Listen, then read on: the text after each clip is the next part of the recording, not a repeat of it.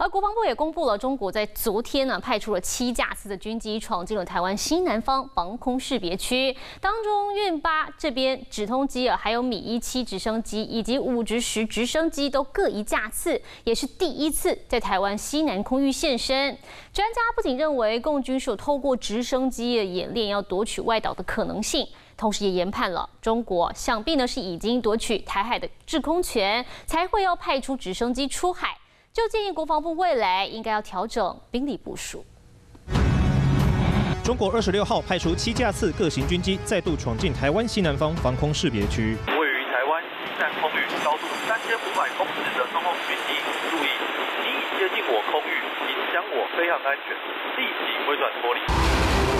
不止运用广播驱离，国军也派遣空中巡逻兵力应对，利用防空飞弹追踪监视。但共军这回扰台的，除了两架歼十六战机和两架运八型机，还有首次闯进台湾西南方防空识别区的各一架次的运八直通机、米十七直升机和五直十直升机。运八直通机它负责空中指挥，直升机出海一定要有一个议题的假定，就是掌握这个制空权。没有掌握张海的制空权，它如果直升机出海，很容易变成肉靶，夺取某些我们的外岛。这样一个作战来讲是有可能性存在，因为毕竟它是呃运输直升机跟攻击直升机。面对共军直升机已经在我方西南空域现身，专家建议国防部应该调整兵力部署，要轻快巧的这种飞机过去，是不是我们的 AT 三或者是将来的永鹰号高教机可以担任这个任务，或者我们在 F 五一要。太除之后，我们把它整个浓缩变成一个中队，专门做这个事。而国军军事投资已经突破一兆元大关，立法院预算中心市警，应该及早拟定对策，筹措裁员。